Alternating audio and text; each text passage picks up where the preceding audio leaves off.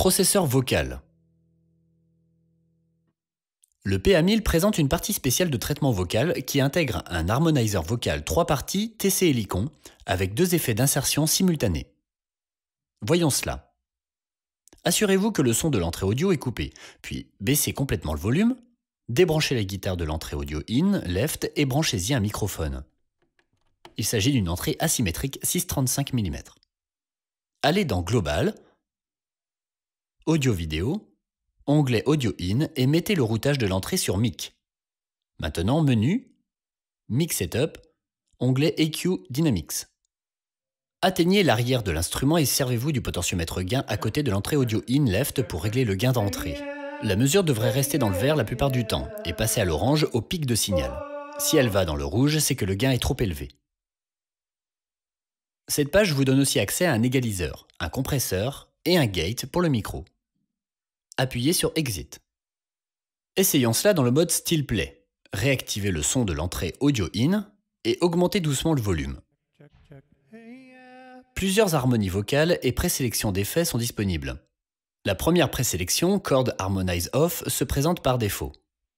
Ce potentiomètre règle la quantité de reverb et ou de délai dans la présélection. Maintenant, ajoutons quelques harmonies. Les harmonies de cette présélection sont configurées, mais désactivées. Appuyez sur le bouton Harmonie Double pour les réactiver. Jouez un accord dans la gamme grave pour donner une information d'accord. Puis chantez. Ces deux potentiomètres peuvent être réglés pour contrôler une variété de choses. Ceci est assigné dans le mode global, mais dans la partie Factory, le potentiomètre 1 est réglé pour contrôler le volume du MP3, et ce potentiomètre 2 règle le volume des harmonies. Il y a plusieurs présélections pour une variété d'applications musicales. Il est possible de sélectionner des présélections soit en appuyant sur le bouton Preset, soit en touchant la présélection ici. Choisissez cette présélection, Close Up Third. Maintenant, lorsque vous chantez, la note suivante sera au-dessus de la note que vous chantez dans l'accord déclenché.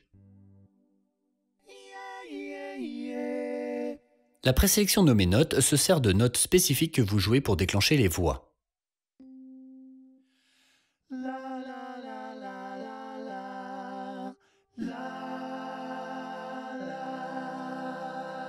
Dans le mode Songplay, des notes harmoniques peuvent être conçues d'une piste de morceaux, habituellement la piste 5, dans de nombreux fichiers MIDI standards commerciaux.